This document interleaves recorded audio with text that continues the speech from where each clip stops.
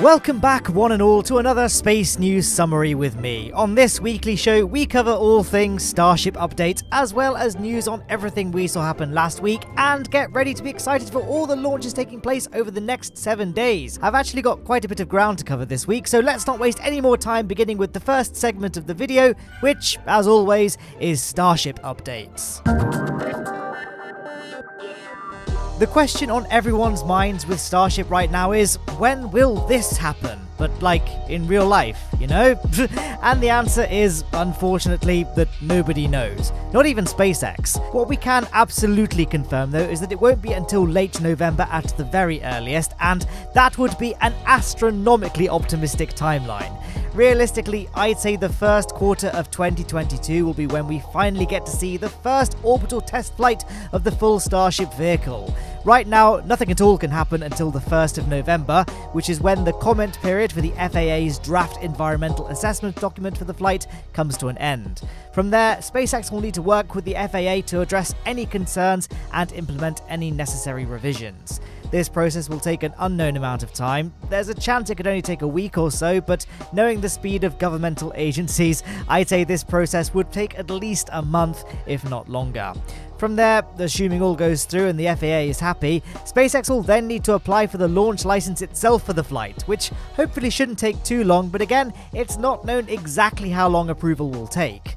Whew, this launching rockets business turns out to involve quite a bit of paperwork. SpaceX have already stirred trouble with the FAA after launching Starship SN8 in violation of their launch license, with SpaceX stating that the FAA's software was a source of frustration that has been shown to be inaccurate at times or overly conservative, according to their justifications of the SN8 flight. SN8 was, of course, only a suborbital hop, so I imagine that things will be much stricter when it comes to the launch of Booster 4 and Ship 20. Hopefully, the FAA will make things as smooth as possible, not only for SpaceX, but also for all of the fans eagerly watching the rocket take shape and get ready for that historical orbital flight. For the flight itself, there are, of course, two timelines to watch for the Starship orbital launch. The first is the aforementioned boring red tape set of steps that in retrospect made for a terrible opening of this video. F in chat please for my viewer retention stats. The second set of steps for launching the orbital rocket is, well, the orbital rocket itself. There are three major components to this Stage 2, which is Ship 20, Stage 1, which is Booster 4, and Stage 0, which is all the infrastructure associated with the support of the launch.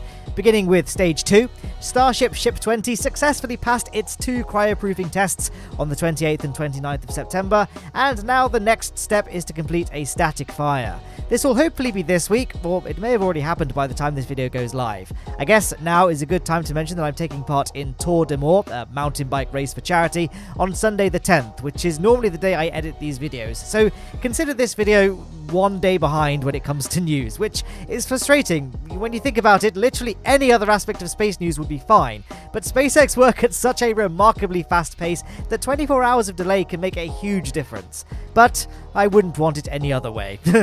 when it comes to the static fire, it's unclear if this will involve the sea level Raptors and the vacuum Raptors, and if multiple static fires will take place with the engines being fed from both the main and header tanks, but I'm sure that as the week progresses, we'll learn more and more information. Moving along to stage 1, Booster 4 remains off the launch pad in order to make room for SpaceX to install Mechazilla, the gigantic catching arms that will eventually be used to catch the booster and ship when coming in for landing.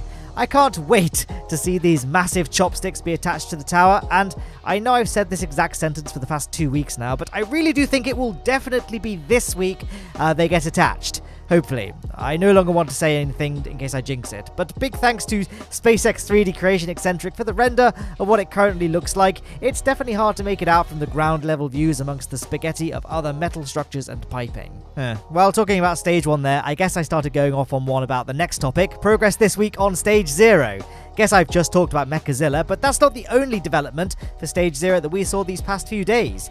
GSE tank number 8 was finally rolled down to the orbital tank farm to join the others and completing the tank farm's numbers, as GSE 8 was the final tank that needed to be added. It will, of course, still need to have its cryo shell installed to insulate it from the blistering Texas heat, but it's great to see that we're now onto the final stretch. We'll quickly wrap up the Starship updates with a look at Brendan Lewis's latest excellent infographic and marvel at the fact that both Ship 21 and Booster 5 are very close to completion. Wow, if SpaceX can get things hurried through with the FAA, then then not only will Flight 420 likely beat SLS to space, but Flight 521 may well beat the Orange Money Pit as well. What do you think? I'd love to hear in the comments down below. And hey, while you're down there, don't forget to like and subscribe to help support what I do here. Me personally, I think I'd safely bet on Flight 420 beating Artemis 1, but I think the odds of Flight 521 also beating out NASA are a little bit less likely. But, you know, SLS is five years behind its expected launch date, so anything is possible. Here's hoping we don't get a half decade delay for Flight 420 though. anyway, let's take a look at what other great news we saw happen in the world of spaceflight last week. The biggest launch event of last week was undoubtedly the successful launch of a Soyuz 2.1A, which carried film crew members Yulia Peresild and Klim Shipenko, as well as Commander and cosmonaut Anton Shkaplerov. Their Soyuz spacecraft is headed for the International Space Station, where the film crew will spend 12 days aboard to film about 40 minutes of footage for an upcoming film entitled in English as The Challenge, which is about a cosmonaut who falls unconscious during a spaceflight, requiring heart surgery in zero gravity in order to survive. The film will be released next year, and I'm certainly very interested to see how it'll all turn out. The spacecraft successfully docked with the space station, and all crew are now on board, so so far, so good. We had hoped to see the first ever eco rocket launch last week, but unfortunately, that launch has been put on hold for a bit now. Arcaspace posted on Instagram that the Romanian Civil Aviation Authority would not release approval for the eco rocket's launch window. Their statement ended with a note that they will continue to work diligently with other government agencies to understand the reasons that led to this supposedly unprecedented and unfortunate incident and resume launch activities as soon as possible. Best of luck to Arcaspace for getting things squared out sooner rather than later. Speaking of developmental rocket launches, we have an update for Rocket Lab landing very soon. A tweet from Jeff Foust stated that during a launch panel, Rocket Lab's Lars Hoffman mentioned that an update on Neutron is coming very soon, with the vehicle allegedly now being nearly 100% reusable. Neutron is, of course, Rocket Lab's answer to Falcon 9. It started out being similar in size and capacity to an Antares rocket, but has since become a little bit bigger. Until now, the plan was always first stage recovery only, much like Falcon 9 and indeed Electron eventually. However, presumably SpaceX's progress with Starship has made them rethink their strategy, much like how we've seen with Blue Origin's Jarvis and Relativity Space's Terran R. The future is looking increasingly exciting for rocket launches, it would seem. anyway, there's a lot of other launches to look forward to in the meantime, including lots of exciting ones this week, so let's take a look at those now.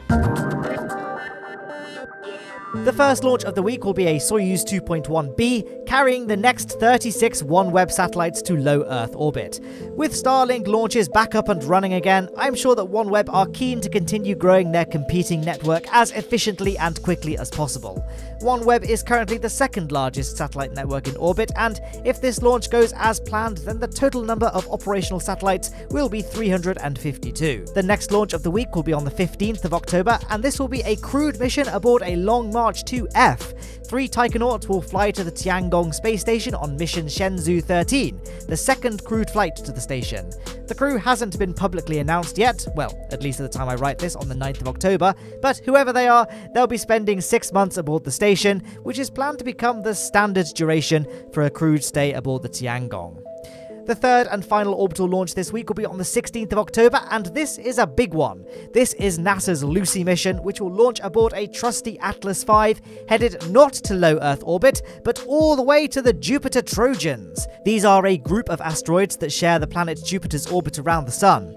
The Lucy mission will span some 12 years, during which the spacecraft will visit eight different asteroids, one in the main asteroid belt, and seven Jupiter Trojans. I'm really looking forward to talking with you more about this mission once it's launched, so provided there are no delays, I'll have plenty of juicy info to share with you in next week's episode of Space This Week, so do make sure you're subscribed so that you don't miss out. in addition to the aforementioned orbital launches, we do have a suborbital launch happening this week as well.